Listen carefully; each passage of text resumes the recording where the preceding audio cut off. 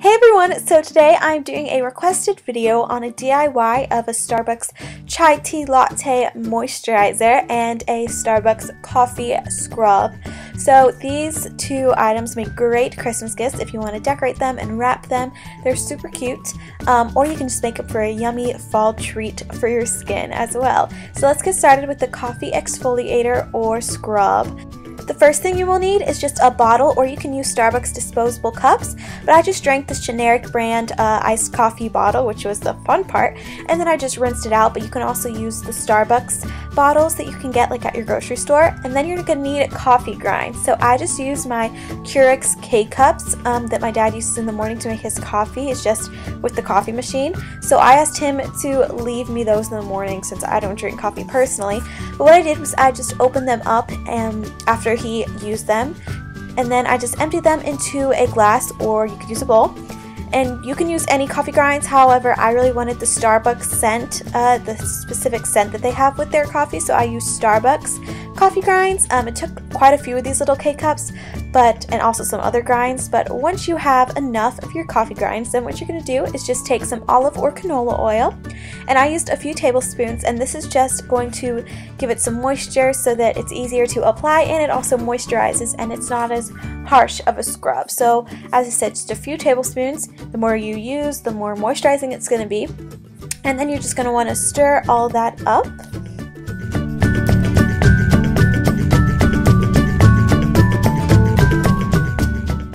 Then just to get even more of the scent, I just brewed a tiny bit of coffee. This is the machine I was talking about. It's called a Keurig and that's what I got my little cups from that I use the coffee grinds.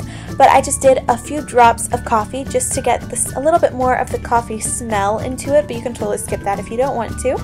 And then I just transferred the grinds from our cup to my bottle I would be using.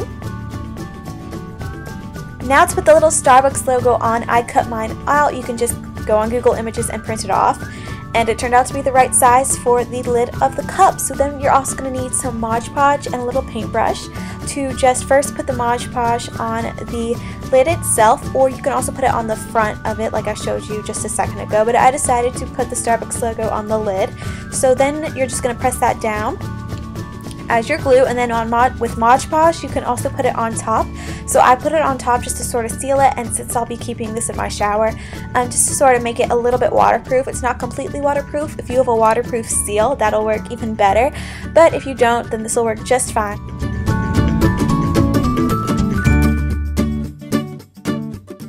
Then just to make it a little cuter, what I did was just tied a little ribbon around it and this makes it really cute also if you're going to be giving it as a gift.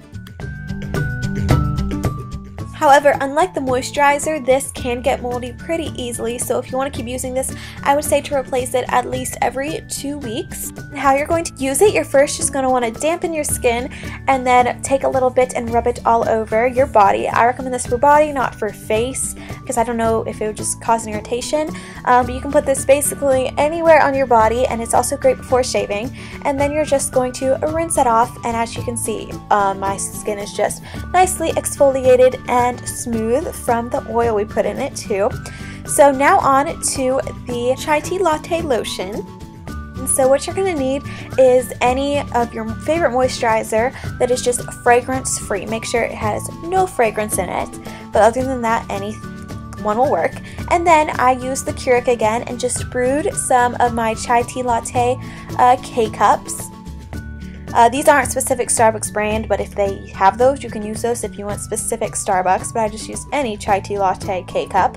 And then I just put a little bit of my moisturizer in a cup and stirred it in with a little bit of the brewed chai tea latte. So I just kept doing this, adding a little bit as you go because it's like science because you need to add just enough of the chai tea latte to make it a good color and give it the smell, but you don't want it to get too watery by adding too much. So also what I did just to help with the color is I put the lotion and the chai tea latte through a strainer so that the chai tea latte would sort of stain the lotion, um, stain the moisturizer, but then it wouldn't give the watery consistency to it. Um, so yeah, that helped with the color a little bit, but I just kept adding more lotion and more chai tea latte till it got to my desired color, but not too watery, also a good consistency you're wanting it to be.